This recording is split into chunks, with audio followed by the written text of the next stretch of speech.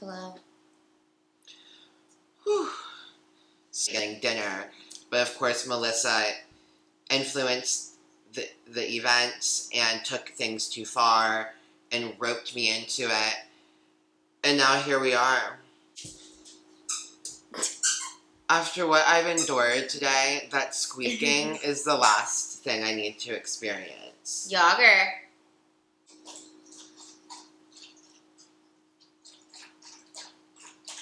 Stay That's what. Melissa sounded like drinking drinks last night at the bar. Yeah, and now you're gonna be behave, Yaga, right? And that's on who? That's on Mary Had a Little Lamb, okay? That's an alpaca, but. Oh, does it's giving lamb.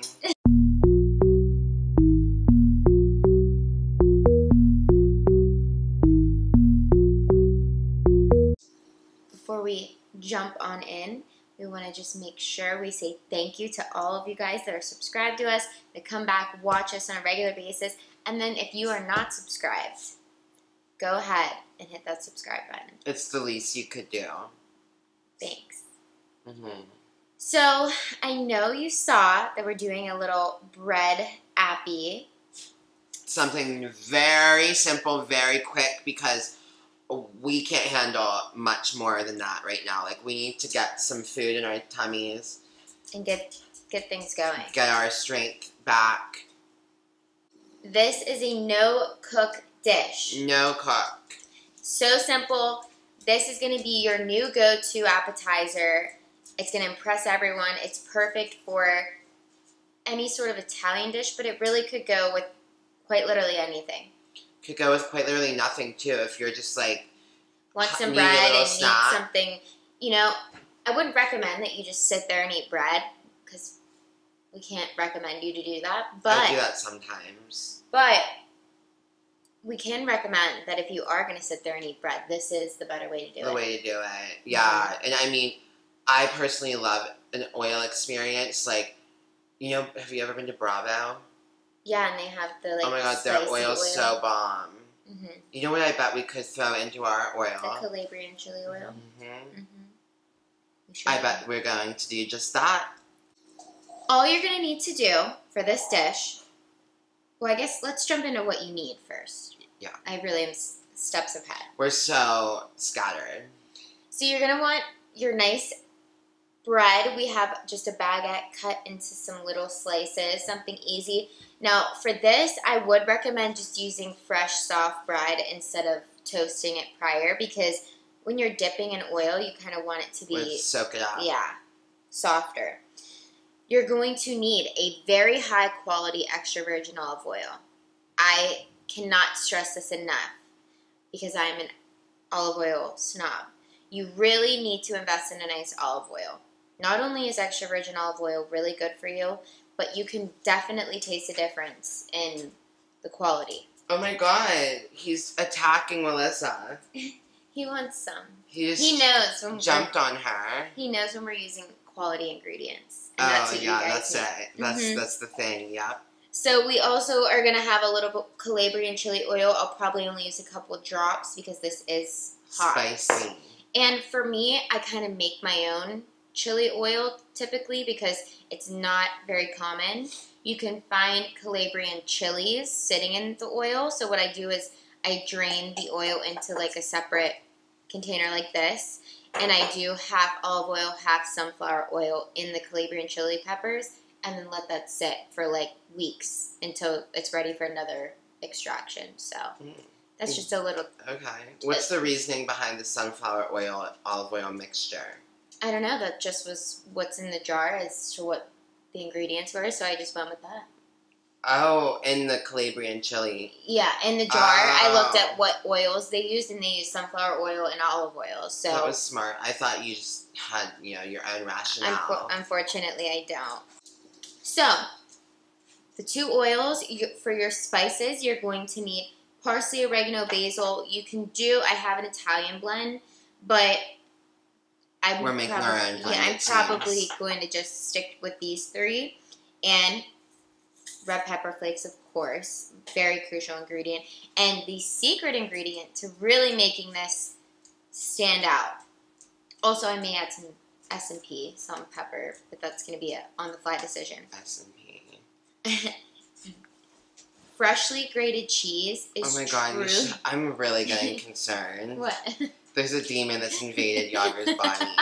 He just lurched across the whole room, like literally went from that end to the other in one motion. Like I'm, I don't know how you're focused on this right now when we have a demon in the. Ah! Oh my god!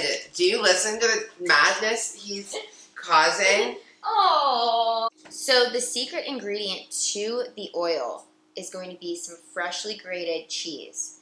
We're using Parmigiano Reggiano cheese.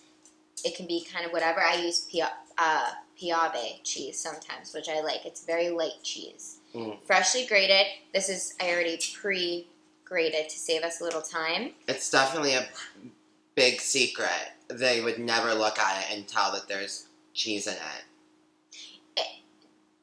What do you mean?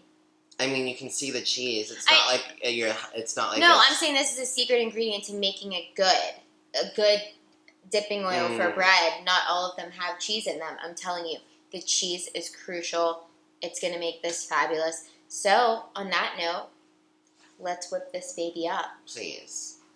So, all you're going to need to do is take your high quality extra virgin oil, and we're going to just do a good amount. Be- because it's just me and him, I'm not going to do too too much. We're not serving an army of people. And then, like I said, just a little itty bitty drop, I would say that was more of a drizzle. uh, an itty bitty drizzle hmm of Calabrian chili oil. And then now you can really get wild with your seasonings. Really just add as whatever you want. Yeah, it gets so wild that you miss the bowl. Even season the countertop. You know, Season it all. He's squeaking again. Ah, So I added parsley, oregano. We're gonna move on to basil. And you really can make this heavy because you're gonna stir it in. You want every bite to have a explosion of Italian flavors. So after you add in your spices, I would just do a little bit of salt and some pepper.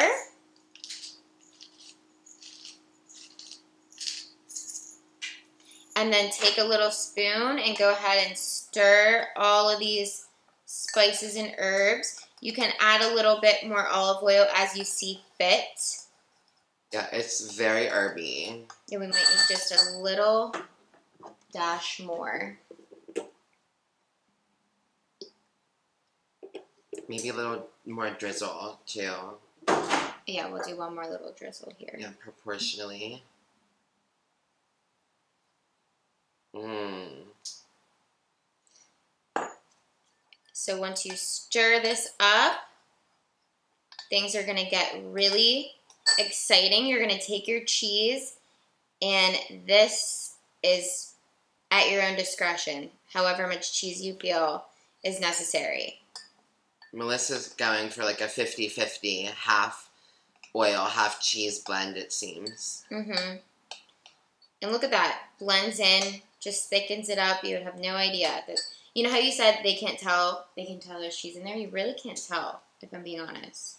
As an expert bread consumer, I can tell because I, I also do this, so like I can tell the difference. You know, everything you know needs a little dash of cheese. And honestly, that's all this is. That's all it takes. No cooking, no nothing. It literally takes thirty seconds in the real world. and Yet we've have it. managed to draw this tutorial out to thirty minutes. How dreadful! so on that note, I guess we're gonna dig right in. or dip right in.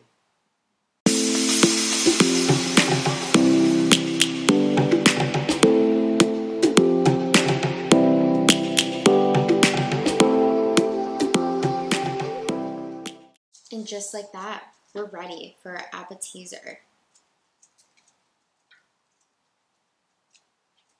I know. I'm excited. I feel like I haven't eaten in years. I'm ravenous. Mmm. And it's so good. And like I said, you really can tell when you have a quality olive oil. Mm-hmm. Mm. Just what I needed. Mmm. And I got a little, like a little bit of an after bite from the Calabrian chili oil, like a little aftertaste. Love that. Oh my god, slow down. I'm not, I'm still on my first one. By the time I'm done with my first one, she's gonna have all these eaten. It sounds like the a you problem. Sounds like you're being a very bad host. Just eating, uh, making food for us, and then eating it all herself. Hmm. Your fave literally. Uh, what does your fave do? Your fave buys Wonder Bread And serves Wonder Bread on a paper plate. with um with cold hard butter. Isn't that the worst when like you're at a restaurant and they bring out bread and the butter's cold? Like how do you spread it? What were they thinking? They weren't. Mm-mm. We would never do such a thing here. Never. Honestly, you know what we would do? We would melt the butter and paint it on the bread for you guys.